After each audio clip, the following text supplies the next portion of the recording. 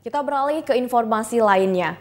Saudara pelestarian budaya menjadi salah satu tugas yang dilakukan oleh TNI sebagai penjaga NKRI. Salah satu dari upaya tersebut adalah dengan mengadakan pertunjukan wayang kulit.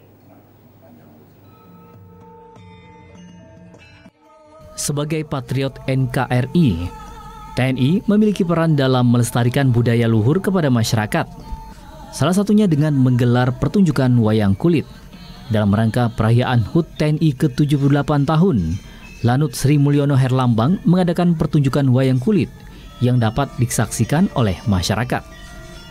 Komandan Lanut Sri Mulyono Herlambang Palembang, Kolonel Penerbang Sigit Gatot Prasetyo mengatakan, pertunjukan wayang kulit ini merupakan instruksi Panglima TNI untuk mengajak anak muda dalam melestarikan budaya Indonesia.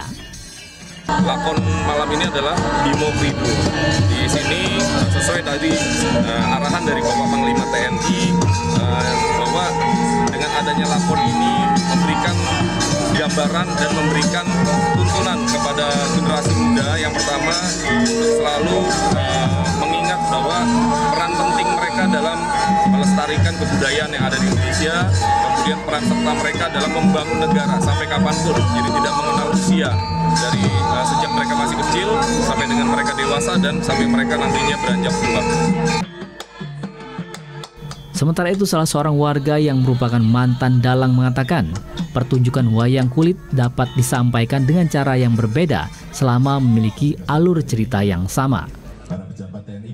Maksudnya kalau masalah lakon itu lain dalam, lain yang menjalankan. Tapi kuncinya sama. Jadi misalkan ada perbedaan cuma di tengah-tengah baik dalam perkembangan.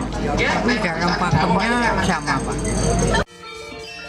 Pertunjukan wayang kulit lakon Bimo Krido ini diadakan secara serentak di 78 titik di seluruh Indonesia dan di luar negeri seperti Malaysia, Suriname, dan Amerika Serikat.